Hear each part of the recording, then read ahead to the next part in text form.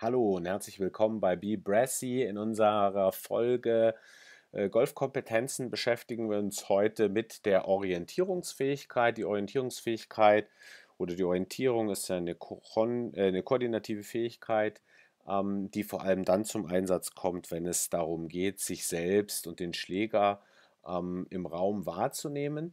Ähm, für das Golfspielen hat die Orientierung eine ganz äh, zentrale Bedeutung.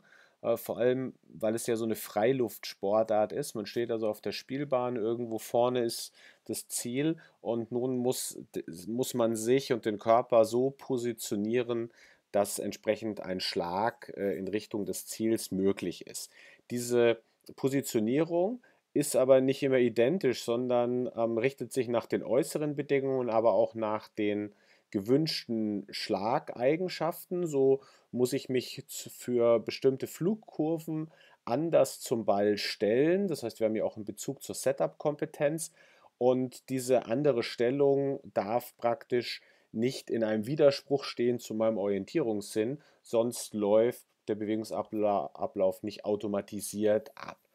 Ähnliches äh, kann man eben auch für alle anderen Schläge, eben zum Beispiel vor allem im kurzen Spiel oder eben auch beim Putten anwenden. Dort ist es sehr, sehr entscheidend, eine Positionierung so zum Ball zu haben, dass äh, man den Ball mit einer natürlichen und eingriffsfreien Bewegung ähm, ins Loch spielen kann.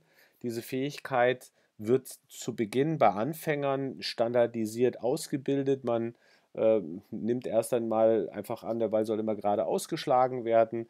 In der Regel äh, wählen die meisten Trainer für ihre Spieler am Anfang eine Ausrichtung parallel zur Ziellinie. Ähm, diese Positionierung verändert sich dann aber mit der Zeit aufgrund eben halt der unterschiedlich geforderten Treffbedingungen, so dass beim Drive beispielsweise wenn ich ihn eben in der Aufwärtsbewegung treffen will, der Club Path weiter nach links zeigt. Entsprechend wird häufig die Ausrichtung weiter rechts gewählt und dadurch wandert das Ziel dann in meiner Wahrnehmung weiter nach links. So dass es dann später bei den sehr, sehr guten Spielern häufig zu beobachten ist, dass wenn sie sehr, sehr weite Bälle schlagen, dass sie versuchen, das Ziel sehr weit links hinter sich zu bringen, um entsprechend viel Beschleunigung ja in der Aufwärtsbewegung am Ball zu haben. Ein vielleicht ein bisschen schwieriger Aspekt, ähm, kommt auch in praktisch der Ausbildungsstufe ja nun auch relativ weit am Ende.